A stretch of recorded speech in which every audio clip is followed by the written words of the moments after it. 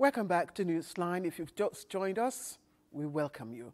Now, they say every day isn't Christmas, and it's not every day a girl child, for that matter, gets the rare chance to sit in the Federal Executive Cabinet.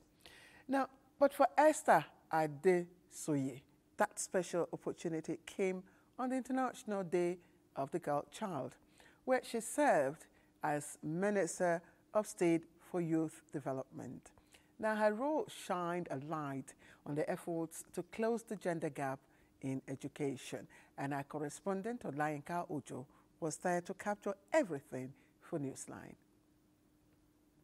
The International Day for the Girl Child is celebrated on 11th October every year to recognize girls' rights and the unique challenges they face around the world. The foundation of the challenge is poverty.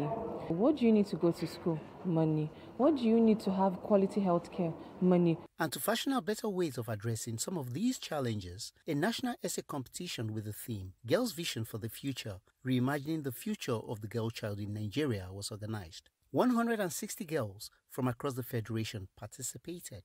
Today, here's the winner of the essay competition. She will oversee the affairs of the ministry as the Minister of State for Youth Development for the next 24 hours.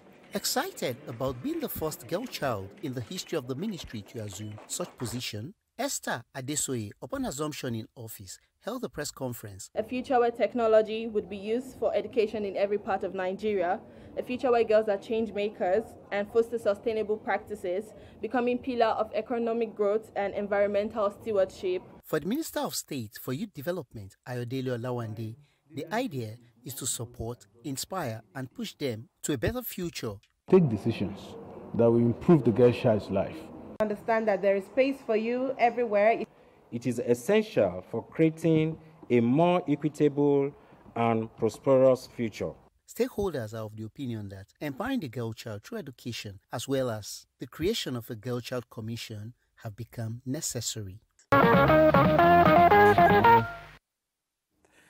Oh my God, I don't know what I would have done myself. Anyway, congratulations, Esther, for the very rare opportunity.